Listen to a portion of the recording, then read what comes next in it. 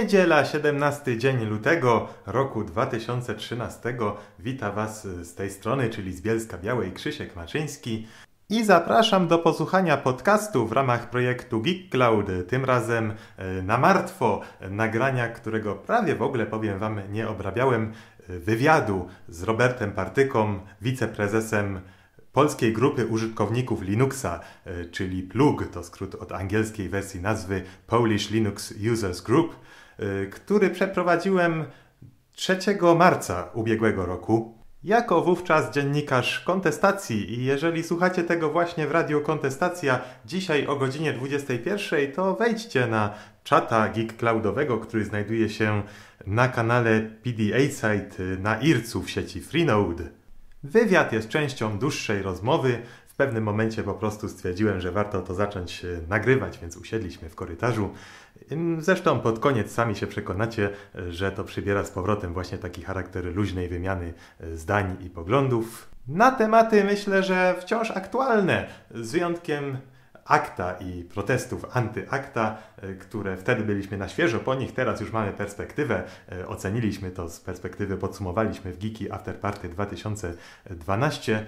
Natomiast Tutaj chciałbym skorzystać z okazji i dopowiedzieć, że jeżeli się Wam wydaje, że e, ta, ten potencjał do współpracy, e, te kontakty, to poruszenie właśnie wspólne organizatorów z różnych miast, organizacji pozarządowych i e, właśnie ludzi, którzy spinali to w skali ogólnopolskiej, się rozpierzchło całkowicie, że tego się już nie da zebrać i zostało zmarnowane no to powiem Wam, że w rocznicę, z okazji rocznicy tych protestów wyszła taka bardzo fajna inicjatywa, która e, temu zapobiega. Wyszli z nią Olo Zioło i Tomek Pietruszka. Polega ona na utworzeniu kapituły złożonej z organizatorów protestów w poszczególnych miastach. Bielsko-Białą reprezentuję tam ja oraz organizatorów akcji zbierania podpisów za referendum w sprawie akta. E, I kapituła ta przyznaje co roku nagrodę za zasługi e, dla wolności słowa w internecie jakiemuś na przykład politykowi czy e, działaczowi. Otrzymała ją w pierwszą rocznicę, czyli w tym roku 26 stycznia profesor Irena Lipowicz, Rzecznik Praw Obywatelskich. No i życzę Wam miłego słuchania, a następnie komentujcie, jeśli się Wam podoba, to e, polecajcie znajomym, nieznajomym, linkujcie, e, promujcie i wspierajcie Geek Cloud. A za tydzień już prawdopodobnie audycja znów na żywo, ale dokładniej to się pytajcie chłopaków z PDA Site. Cześć!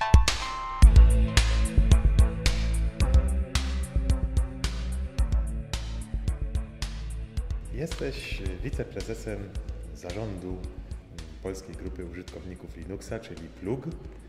Możesz powiedzieć krótko, czym jest PLUG i co robi, czym się zajmuje ta organizacja? Sama nazwa wskazuje, zrzeszamy użytkowników Linuxa w Polsce. E, obszarem działania jest Polska, więc nie ma podziału na zarząd światowy, zarząd krajowy. Główny taki element działalności w tej chwili, jakbym miał wymienić, to przez lata było to organizowanie konferencji około flosowych, nazwijmy to około związanych z, otwartym i wolnym oprogramowaniem. E, teraz ta działalność się trochę powiększa. Dosyć aktywnie bierzemy udział w e, działaniach takich jak e, działania antyakta. Byliśmy jednym z organizatorów IKWI, czyli kongresu, który, Kongresu Wolnego Internetu, który się odbył w Warszawie z uczestnikami protestów. Szkoda, że kontestacji tam nie było. No, dawałem znać ludziom w Warszawie, no ale się nie wybrali. Sam też się nie wybrałem, chociaż jestem organizatorem, e, współorganizatorem protestów dwóch, które się odbyły tu w Bielsku Białej. Także, no tak jak mówiłem, jest, jest to jeden z takich elementów, e, którymi się zajęliśmy. E, lobbying też e, w kwestiach, lobbying i nadzór w kwestiach zmian w prawie, które mogą uderzyć w wolnie otwarte oprogramowanie ogólnie działania takie, jak przewiduje statut. Hmm. Jaka jest relacja między mm, plugiem a lokalnymi grupami, tak jak na przykład Śląska Grupa Użytkowników Linuxa czy Trójmiejska? To, to jest różnie, dlatego że lokalne, nie wszystkie lokalne grupy są to e, pododdziały ogólnokrajowej.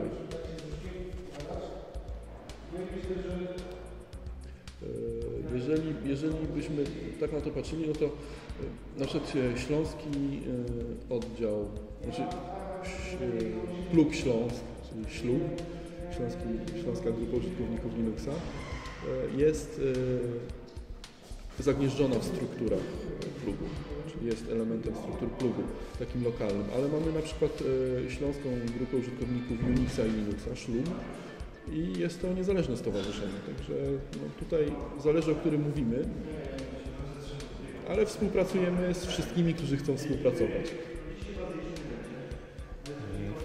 Czy Linux to obecnie jest system ważny dla normalnych ludzi, dla nieinformatyków? E, czy też jest to po prostu jakaś nisza, która mm, do tej pory nie wywalczyła sobie uznania według Was pewnie należnego?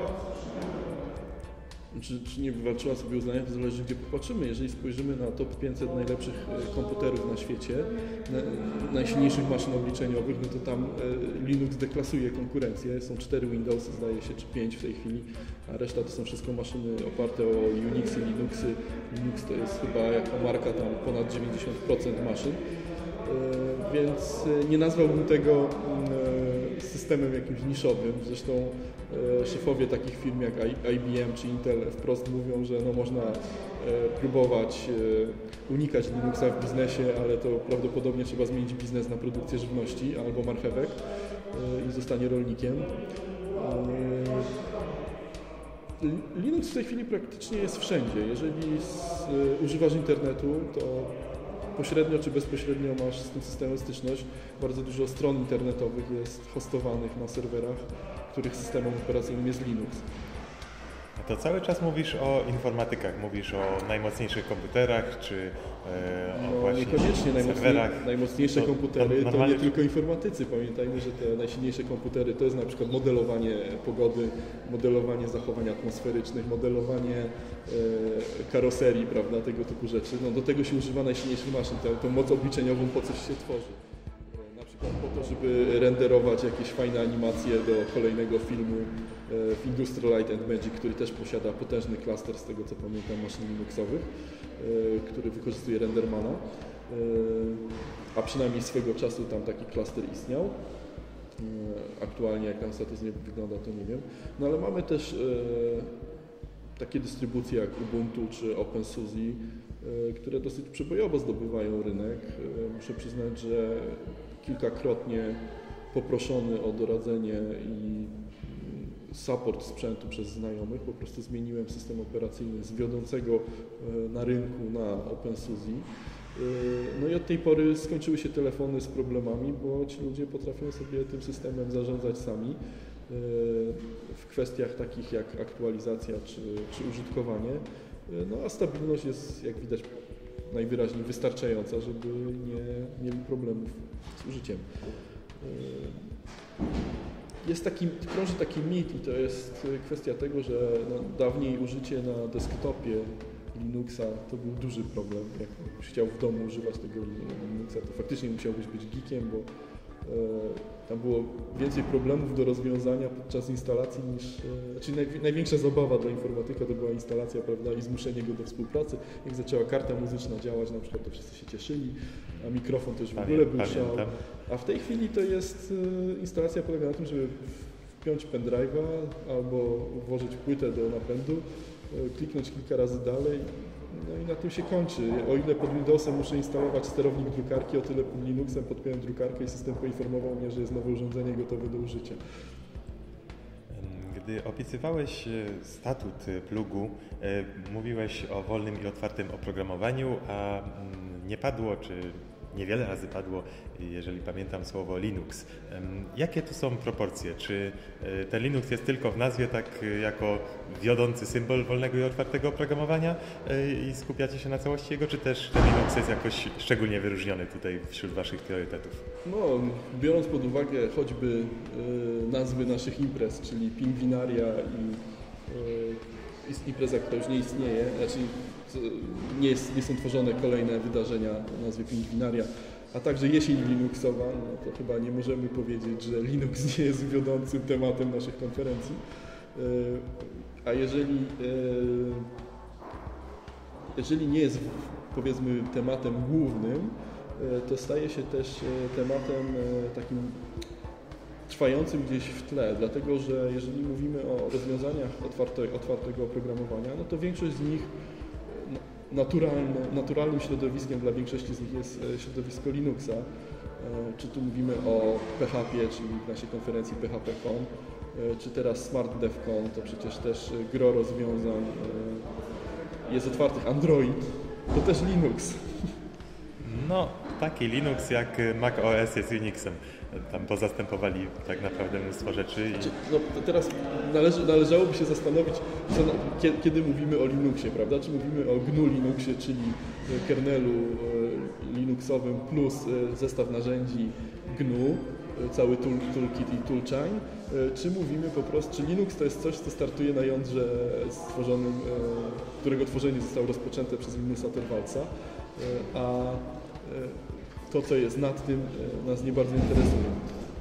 Ja myślę, że to jest e, dyskusja taka trochę o, o smakach, a jak wiadomo o gustach i o smakach się nie dyskutuje, e, więc ja, ja myślę, że to jest do oceny przez każdego. No. Android jest dostępny na zasadach otwartych źródeł. Można sobie w nim pogrzewać, pozmieniać rzeczy i wypuścić własną dystrybucję Androida. E, więc e, w pewnym sensie jest to, jest to Linux. Oczywiście nazywa się to Android, ale to jest e, SUSE, OpenSUSE nazywa się OpenSUSE, prawda, a nie, a nie OpenSUSE Linux. Wspomniałeś już trochę na początku o aktualnym temacie akta i protestów przeciwko temu prawu i o internetowym kongresie wolnego internetu, e, improwizowanym kongresie wolnego internetu, e, na którym byli organizatorzy protestów oddolnych e, z różnych miast Polski i organizacje pozarządowe, między innymi właśnie mm, Polska Grupa Użytkowników Linuxa. Byłeś tam osobiście? Tak, byłem osobiście na tej konferencji. Hmm. Znaczy, na tym kongresie. Tak, na kongresie i ja nie byłem, ale słyszałem, że część uczestników, część organizatorów wyszła stamtąd y, trochę właśnie niezadowolona tym, y, w jakim stopniu było to zdominowane przez te organizacje y, i jak mało było czasu na mm, ich własne zapoznanie się i ustalenia. Cały czas były właśnie wykłady i prezentacja organizacji. Jeszcze się taki nie narodził, co by wszystkim dogodził. I myślę, że tutaj mamy z podobną sytuacją do czynienia. E, zarówno e, sposób, znaczy zarówno w ogóle temat organizacji tego spotkania, jak i sposób jego, jego organizacji, jak i e, to, co tam będzie, było konsultowane, ktoś może powiedzieć, że za mało, ale było konsultowane z, przez Magdalenę Szecówkę, którą pozdrawiam w ogóle. Wśród organizatorów protestów były przecież robione ankiety o tym, jakie tematy chcą e, usłyszeć na, w części e, eksperckiej, gdzie eksperci e, się wypowiadali i tłumaczyli różne rzeczy. Także no, dla mnie nieuzasadnione są twierdzenia, że ktoś nie, wyobrażał to sobie inaczej lub nie wiedział jak będzie, bo plan był dostępny i był, to nie było tak, że oni przyjechali w ciemno i nie wiedzieli jaka będzie agenda spotkania agenda spotkania była ustalona dużo wcześniej. Fakt, że udało się ten kongres, on dlatego się nazywał improwizowany, że był zrobiony w ciągu tygodnia. Stworzenie kon kon konferencji, która trwała dwa dni e, w ciągu tygodnia, to jest naprawdę nie lada wyczyn, choćby logistyczny, e, a wyszło według mnie no, co najmniej dobry plusem. E, tak, oddźwięk medialny był szeroki i mm, myślę, że wszyscy od władz przez media po zainteresowanych tym członków społeczeństwa e, się o tym dowiedzieli. Przeczytali też duża część z nich oświadczenie, które po tym kongresie zostało przez organizatorów e, wydane. Ostatnie pytanie, które mam, dotyczy takiego tematu, no też związanego z akta, chociaż nie tylko, bardzo dokładnie regulowanej dziedziny życia przez nasze polskie i nie tylko polskie prawo, mianowicie własność intelektualna. Czy takie pojęcie według Ciebie w ogóle istnieje? Czy dobra niematerialne są rodzajem własności? Wiesz, ja nie uznaję tego, że jeżeli coś jest osiągnięciem cywilizacyjnym, to jest faktycznie osiągnięciem, bo po prostu ewoluujemy i E, jak ta ewolucja czasami idzie niestety w e, ślepą uliczkę, e, w aktualny sposób podejścia do. Ja nie będę używał określenia własność intelektualna, do praw autorskich, bo o to się to opiera. I pokrewnych, patenty na przykład też Tak, i pokrewnych, tylko że tu nie należy mylić, bo patenty to jest jeden rodzaj prawa, prawa autorskie to jest drugi rodzaj prawa. One, one są w pewnych, w pewnych miejscach się nakładają, że tak powiem, kwestiach logiki i, te, i tematyki, której dotyczą, e, ale tylko, ale tylko częściowo. I są dwie sprawy. Pierwsza rzecz to jest porządek aktualny, czyli porządek prawny, jaki istnieje ze względu na ustawy, e, który, którego nie jestem fanem, ale dura lex sed lex, prawda? Konserwatyści i osoby prawicowe jednak szanują prawo, mimo że się z nim nie zgadzają, najwyżej dążą do jego zmiany. A inna rzecz to jest kwestia dyskusji na temat tego, jak e, powinno wyglądać podejście do praw autorskich i, e, i intellectual property rights. Przetłumaczenie tego na polski jako własność intelektualna nie jest do końca trafionym pomysłem, dlatego że zaczyna, Polacy, mówiąc w ten sposób, zaczynamy myśleć o własności takiej jakby własności do tego laptopa, którego posiadam i przez to nikt inny dokładnie tej jednostki nie posiada. Jest dobrem rzadkim. Jest dobrem rzadkim. No to jest taka ślepa uliczka właśnie sposobu myślenia. Jeżeli będziemy używać nieprawidłowych definicji, e, no to będziemy się zapędzać e, nieprawidłowego nazewnictwa, to będziemy się zapędzać w takie właśnie ślepe uliczki toku myślenia. E, trzeba przedyskutować wszystkie te aspekty od nowa, dlatego że to jest pewien rodzaj umowy społecznej, prawda? My dajemy jakiś rodzaj monopolu, to nie jest własność, to jest monopol. Utrzymujemy poprzez prawo sztuczną rzadkość dóbr, które z natury rzadkie nie są. To jest jedna ale to, to, nie jest, to nie jest tak, że to się dzieje bez powodu, prawda? Cały pomysł tego, przynajmniej w, w niektórych kręgach, to był taki, że po to się to daje autorom, po to się daje autorom taki monopol. Teraz jest oczywiście kwestia dyskusji, w jaki sposób udzielamy tego monopolu. Czy on ma być tak jak teraz z automatu, czy może powinien być odpłatnie, tak jak w prawie patentowym. Chcesz mieć monopol, to musisz wykonać jaką, jakąś aktywność, żeby ten monopol zdobyć. I to czasowy. Dlaczego on ma być czasowy? Bo my chcemy, żeby ci autorzy tworzyli. Jeżeli teraz mamy taką chorą, tak chorą sytuację, że 70 lat po śmierci y, autora on nadal ma ochronę prawno-autorską, to przepraszam bardzo, ale to za, zaczyna zakrawać jak jakiś film o zombiakach, prawda? 70 lat po śmierci autor ma ochronę. No to już to już nie jest prawo autorskie, to jest jak, jakaś... Yy, I to jeszcze 70 lat od śmierci ostatniego autora, prawda? Czyli jak... Yy, jest to dzieło robione przez wielu autorów i najmłodszy autor miał powiedzmy yy, tam 12 lat no to ta ochrona dla potomków tego najstarszego autora to nie będzie 70 lat po jego śmierci, tylko na przykład 120. Jeszcze dodam jedną rzecz, bo tak pojechałem takim słowotokiem, e, ale ogólnie ten monopol daje się po to, żeby oni tworzyli. Jeżeli ten monopol jest zbyt długi, no to nie ma motywacji do tworzenia nowych rzeczy. Jeżeli ja mam ochronę tylko przez 5 lat, to, to wiadomo, że za 5 lat powinienem wydać coś nowego i, i zapewnić sobie ochronę tym, tym monopolem i musi być to na tyle dobre, żeby ktoś chciał ode mnie kupić prawa do tego monopolu. Czyli uważasz, że twórcy nie tworzyliby mm, dzieł, muzyki, programów, wynalazków, gdyby nie właśnie y, to, ta ingerencja władz w sposób tutaj szczególny i ściganie z urzędu i y, powoływanie do istnienia A, wiesz, urzędów patentowych, organizacji zarządzania zbiorowego, które y, mają uprawnienia wręcz śledcze, wręcz mogą zawiesić domniemania niewinności. Uważam, że to wszystko sprzyja rozwojowi e, jest, twórczości i innowacji. Istnienie monopolu prawnoautorskiego nie oznacza, że mm, powinieneś mieć jakieś szczególne traktowanie nawet na poziomie e, administracyjnym. Nie, to tylko oznacza, że to wiesz, to jest tak jak z własnością ziemi. Nie? No istnieje monopol własności ziemi, prawda? To też jest rodzaj monopolu. Jeżeli ja mam, e, jeżeli ja mam to jest do, do, monopol do dóbr rzadkich, prawda? Własność, to jest rodzaj monopolu. Jeżeli ja posiadam tego laptopa, prawda, to nie, nie znaczy, że z automatu powinno to tworzyć jakiś OZZ, który będzie teraz e, pilnował tego, czy ten mój monopol do tego laptopa jest prawda, przestrzegany. No to jest, jest, policja jest, e... która pilnuje, czy, nie, czy złodzieje nie kradną.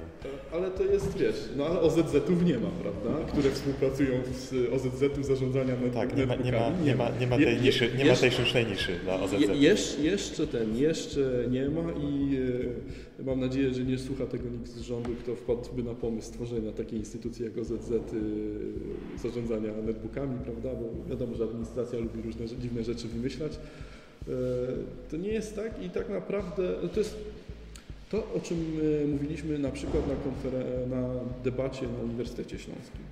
Potrzebny jest pewien, pewien reset, bo mamy jakiś aktualny stan prawny. Jeżeli będziemy cały czas dyskutować wokół tego stanu prawnego, to no, wnioski będą takie sobie, prawda? Jeżeli nie zresetujemy tej dyskusji do poziomu e, szerszego, szerszej perspektywy, szerszego spojrzenia na problem, e, to nic nowego nie, prawdopodobnie nie wymyśli. Będziemy reformować to, co istnieje, prawda? To jest tak trochę jak tynkowanie pękającego domu. E, z, z, z, zewnątrz może zacznie znowu wyglądać na parę lat ładnie, prawda? Tylko, że jak następne pęknięcia się pojawią, to możliwe, że ten dom runie. E, pamiętajmy, że prawo autorskie takie jak znamy, no to jest e, zdaje się 1710 rok, statut e, królowej Anny i wtedy powstały pierwsze pomysły tego typu, a wcześniej też przecież istniała sztuka, prawda? Ja swego czasu prowadziłem taką serię prelekcji o mecenacie 2.0, czyli właśnie o tym, czy tak naprawdę trzeba się zastanowić, czy my chcemy coś nowego, czy to, że dążymy do otwarcia informacji, to jest coś nowego, czy może to jest chęć powrotu do normalności. Bo przecież jak się tak zastanawiamy, popatrzmy wstecz, prawda? Tak bardzo szybki taki robimy retrospekcję, cofamy się do naszych tam pra, pra, yy, plemiona pierwotne, czy tam istniało prawo autorskie? Nie. Czy istniała sztuka? Tak. Yy, opowiadał, prawda, ten szaman te swoje opowieści i jakoś go, jakoś z głodu nie umarł przez to, że nie miał prawa autorskiego. Prawda? Wymyślili ogień, koło. No dokładnie. I idźmy dalej, no, bliżej naszych czasów. E, plemiona pierwotne, no tak się fajnie mówi, nie, nikt, e, każdy słyszał, że coś takiego istnieje, jak jednorożec, mało kto widział, może Cejrowski, jak gdzieś tam podróżował, e, ale idźmy dalej i spójrzmy na takie plemię Izraela, prawda? No tam też cenieni byli ci, to, to było plemię lubujące się w słowie, w opowieściach. Tam musiałeś znać swoich pra, pra, pra przodków, prawda, wymieniałeś tego, aż tam do Abrahama i tak dalej. E, idąc dalej, no, grecka Agora, e, rzymskie Forum Romanum, e, tam też przecież mówcy wychodzili, mówili do ludzi, jakoś pisali te swoje prace po pierwsze najpierw mieli swoich uczniów, najpierw udowadniali, że coś sobą reprezentują, a później znajdowali odbiorców. Fakt, że kopiowanie wtedy ich słowa może było trudniejsze, ale technika idzie do przodu i czy E, czy my mamy teraz naginać technikę do tego, że ktoś się nie potrafi dostosować do postępu? Oni wręcz się cieszyli z tego, że ich prace są kopiowane, że kto inny je wydaje. Dokładnie. I, i tak idąc dalej w ten, no, w przód, to owszem, taki muzyk na przykład utrzymywany przez mecenata, to on mógł podpisać umowę e, z swoim mecenatem, że na przykład on nie będzie tworzył e, dla innej osoby w tym kraju. Były takie umowy między muzykami. Y, że on miał mecenata na przykład w Austrii, prawda? Ale we Francji już miał innego mecenata. Jak, jak była gdzieś jego sztuka i on tam na przykład przyjeżdżał pomóc przy przygotowaniu występu, no to miał osobną umowę z tamtym drugim mecenatem, mecenasem, który y, znowu mu tam prawda, jakąś kasę za to, że on ma na przykład wyłączność w tym kraju wypłacał. Ale czy to oznaczało, czy, czy pewien rodzaj podejścia do tego, że jest autor, prawda, i trzeba go jakoś wynagrodzić za jego pracę, był, prawda, byli ci mecena, mecenasi sztucy, sztuki, e, którzy byli, jak to mówi definicja, prawda, mecenat to była opieka ludzi wpływowych i zamożnych nad artystami. E, I tutaj te słowa kluczowe, prawda, są takie wpływowy i zamożny. E, ale równocześnie nie było jakichś OZZ-ów, prawda, organizacji zbiorowego zarządzania. Nie było ścigania grajków ulicznych za to, że też potrafił zagrać Mozarta, zagrać Bacha. Jak był fatalnym grajkiem, to go obrzucili kamieniami, a nie rzucili mu trochę monet. E, czy Mozart był dużo biedniejszy przez to, że albo taki Bach, albo nie wiem, inni wykonawcy klasyczni, czy oni byli przez to biedniejsi, że ktoś tam gdzieś na wsi, prawda, na skrzypkach albo zanucił w ogóle ich, ich muzykę? No to, jest, tutaj, to są takie dylematy, na które trzeba sobie po pierwsze sobie uświadomić, zadać pytanie, a po drugie spróbować na nie odpowiedzieć. W kwestiach e, podejścia wolnościowego do tego tematu, no to mamy teraz pytanie, czy to ma być e, prawo narzucone odgórnie, e, które jakby się zastanowić, to działa przeciwko autorowi, a nie za, no bo ono mu odbiera ten, to prawo majątkowe po pewnym czasie, wrzuca to do domeny publicznej. To już jest kwestia tego, jaki to jest czas testyjnego.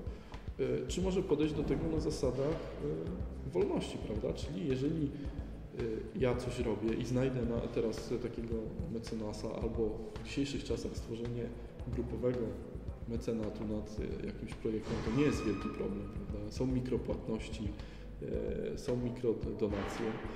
To wszystko da się zrobić. Być może trzeba trochę przejrzeć ustawy związane z ustawami o podatku dochodowym, w ogóle o finansach, żeby wszystkie związane z, z, różnego rodzaju aspektami finansów, żeby tutaj jakieś e, kwestie e, podatkowe nie zabiły tych pomysłów, ale to się da zrobić. I mamy w tym momencie prawo oparte o tą wolność umowy. Ja się z kimś, jeżeli ja się z kimś dogadałem, że takie takie warunki, to spoko, to się z nim dogadałem, ale jeżeli ktoś zanuci moją piosenkę przy ognisku, to przecież nie będę strzelał do tych harcerek.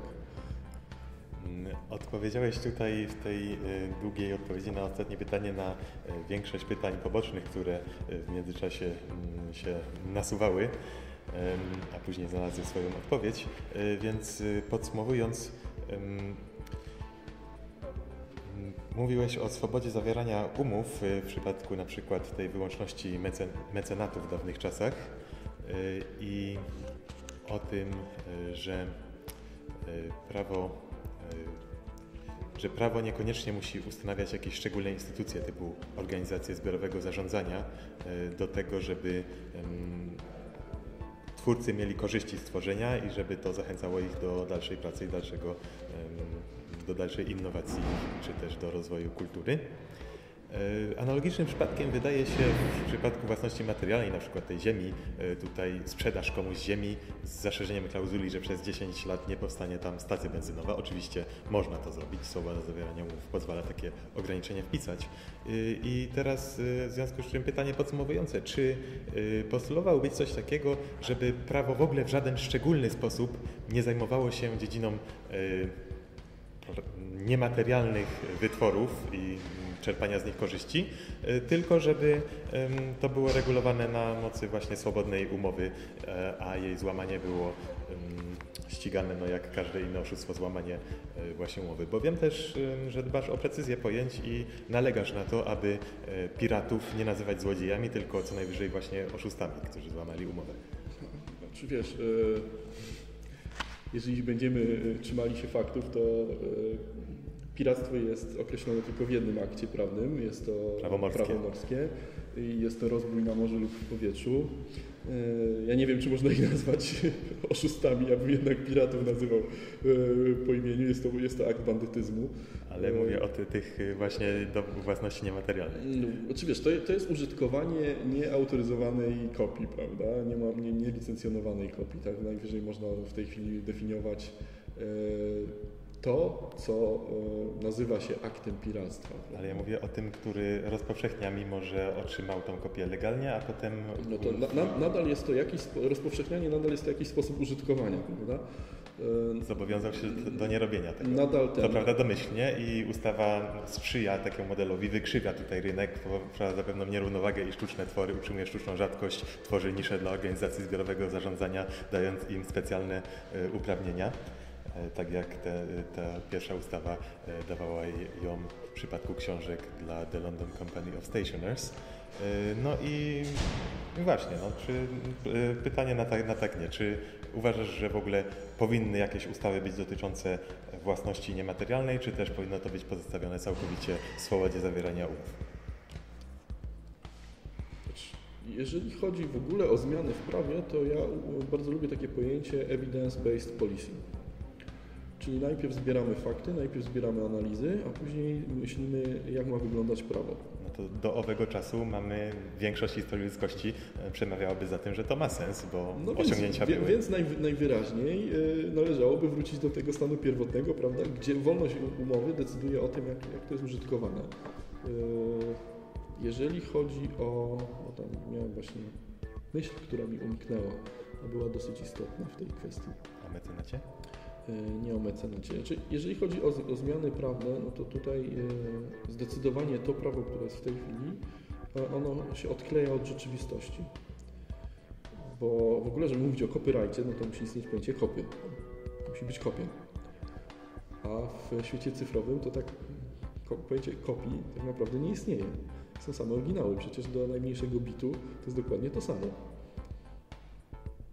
Więc y, albo wszystko jest kopią, nawet oryginał jest kopią, albo, albo wszystko jest oryginałem. Y, także tutaj zdecydowanie należy pochylić się nad, tak jak mówiłem, tą dyskusję, nie próbować uklepywać tego, co jest, no bo przecież nie robiliśmy jakiejś specjalnej ochrony prawnej prawda, dorożkarzy. Zmieniły się czasy, no i dorożkarze stali się zawodem elitarnym, że tak powiem, bo tych dorożkarzy nie potrzeba zbyt dużo. E, I tak samo jest e, z najróżniejszymi e, zawodami, które i w ogóle aspektami związanymi ze zmianą, no, z rozwojem cywilizacji. Jeżeli, jeżeli byśmy patrzyli pod, względ, pod takim względem tej, tego pojęcia wolności, no to właśnie prosty przykład. System, czyli rynek ubrań. Tam nie ma jakiejś super specjalnej ochrony praw, prawna autorska. Tam jest owszem ochrona trademarku, no bo masz swoją nazwę, opłaciłeś ochronę tej nazwy, no to masz do tego prawo, e, żeby chronić swoją markę. Tak jak masz e, prawo chronić swoje dobre imię, prawda? E, no ale tyle, no tam, tam nie ma jakichś tam, jeżeli ktoś produkuje spodnie, prawda, to druga, druga firma już nie będzie mogła produkować spodni. Tam jest walka na wzornictwo, na to, żeby ten, ten produkt był lepszy, lepszy, fajniejszy, ładniejszy i tyle. No, takim dosyć kuriozalnym przykładem jest e, rynek pornografii, który w ogóle nie walczy, nie walczy z naruszeniami e, ich tak zwanej własności intelektualnej. No, pojęcie własności intelektualnej w kontekście pornografii zaczyna w ogóle mieć ciekawe brzmienie. E, no i też sobie jakoś ten rynek radzi i z tego co się słyszy, to jest to jeden z takich bogatszych rynków, jeżeli chodzi o zasobność finansową. Więc być może, być może trzeba po prostu zresetować cały ten system prawny i zacząć e, patrzeć na to trochę inaczej, szczególnie, że to, to takie europejskie i amerykańskie i w ogóle nazwijmy to cywilizacji białego człowieka podejście do copyrightu to wcale nie jest tak do końca jedyne i dominujące w naszej, w naszej rzeczywistości tutaj e, Europy to jest dominujące, ale to nie jest jedyne podejście do copyrightu. Wystarczy obejrzeć film, film Good Copy, Bad Copy, e, żeby zobaczyć, że tych podejść jest kilka i też sobie całkiem dobrze radzą. Jeżeli to zresetowanie nastąpi, Y, to rozkwitną alternatywne modele biznesowe, które w takiej bardziej naturalnej rzeczywistości y, będą miały większą rację bytu. Y, Myślę, I mówisz tutaj o mecenacie 2.0. Czy mógłbyś na koniec podać jakieś jeszcze oprócz tego mecenatu 2.0 mm, dwa lub trzy inne przykłady modeli biznesowych, które pozwalałyby twórcom czy to kultury, czy to wynalazcom właśnie prosperować w takiej rzeczywistości? Czyli zacznijmy od tego, że deregulacja, czyli zlikwidowanie nadmiaru prawa, e, to nie jest tylko kwestia pomocy właśnie artystom, tylko ogólnie rynkowi, prawda? Jeżeli e, mamy swobodę, e, faktyczną swobodę zawierania umów, no to jeżeli ja się na coś umówię z kimś, to mogę z tego czerpać korzyści lub nie, lub ponieść stratę. To jest moje prawo do ponoszenia ryzyka i, każda umowa jest takim ryzykiem obarczona, ale myślę, że otworzy to możliwości, o których sobie w tej chwili nie, e, nawet nie potrafimy wyobrazić. Jako przykład podam scenę amigową czasów ho, ho, ho 98 rok, 97, demo scenę. Ze sprzętu wyciskano rzeczy, o których się nie, nie, nie śniło się projektantom tego sprzętu.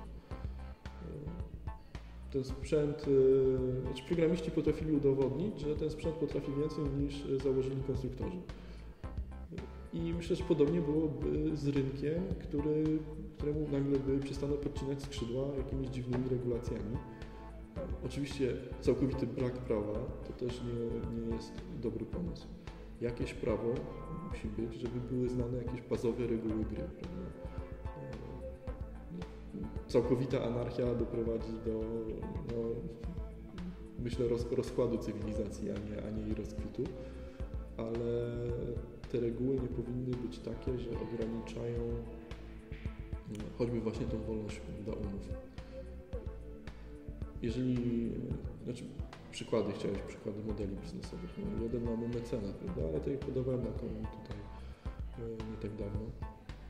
E, tych modeli może być więcej, to może być e, przygotowywanie rzeczy na zamówienie dla kogoś, prawda, czyli działanie dosyć takie klasyczne, tylko że momencie, kiedy, ja, kiedy nie byłoby całej tej otoczki prawno-autorskiej, patentowej itd., tak to ja przestaję się martwić takimi sprawami jak to, czy mam odpowiednią kasę na kancelarię, która mi tam gdzieś prawda, ten patent e, za, zabezpieczy, bo jak nie tego nie zrobię, to jakaś inna firma zgłosi ten patent i mimo, że oni nie są autorami, to oni dostaną to, to ochronę patentową, prawda, i jeszcze mi zagrożą w, w mojej działalności. Nie, co więcej, yy, wymusi to szybszy wzrost nie będzie się opłacało patentować i schować do szuflady. Bo ktoś inny może wpaść na to samo, prawda, i to zrobić, albo zobaczy u mnie i to zrobi. Ja muszę być cały czas do przodu, ale przez to autorzy mają lepiej, bo są, oni są potrzebni wtedy. Najróżniejsi naukowcy są jeszcze bardziej potrzebni niż teraz. I, I owszem, będą powstawały koalicje producentów, którzy będą płacić tym naukowcom, żeby oni szybciej coś działali lepiej, prawda, tworzyli grupy jakieś działające. I co więcej, pewnie będą umowy na zasadzie, dobra, my waliśmy, daliśmy wam kasę, ale wy nie mówcie tego konkurencji. Ale niech to będzie zasada taka, że to ja jako autor zgadzam się na to podczas takiej umowy negocjowanej z drugą stroną, a nie, że prawda, stoi nade mną urzędnik, którego jeszcze i ja, i strona, z którą negocjuję, musimy opłacać. Była to rozmowa dla kontestacji z Robertem Patyką, wiceprezesem Polskiej Grupy Użytkowników Linuxa. Dziękujemy za Dziękuję i pozdrawiam. wypowiedź.